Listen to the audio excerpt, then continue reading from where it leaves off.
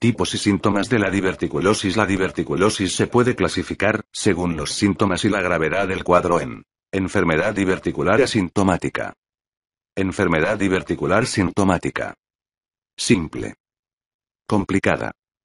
En la mayoría de los casos se trata de diverticulosis sin síntomas, mientras que en el 20% de los casos sí que presentan síntomas, que consisten en síntomas de la diverticulosis. Los síntomas más habituales que presenta un paciente con diverticulosis son los siguientes. Calambres. Hinchazón. Constipación, eliminación de heces escasas, difíciles de expulsar o infrecuentes. Sangrado. Inflamación. Fístulas. Cólicos leves. Distensión abdominal. Estreñimiento. Los divertículos por sí mismos no son peligrosos. El problema se plantea cuando las heces se quedan atrapadas en su interior y los divertículos se infectan y se inflaman.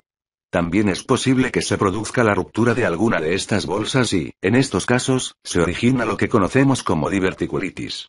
Este trastorno afecta entre un 10% y un 20% de las personas con diverticulosis, y manifiesta los siguientes síntomas. Dolor en la parte inferior del abdomen suele aparecer en el lado izquierdo. Fiebre. Vómitos. Escalofríos. Estreñimiento. Cólicos. Pérdida de peso.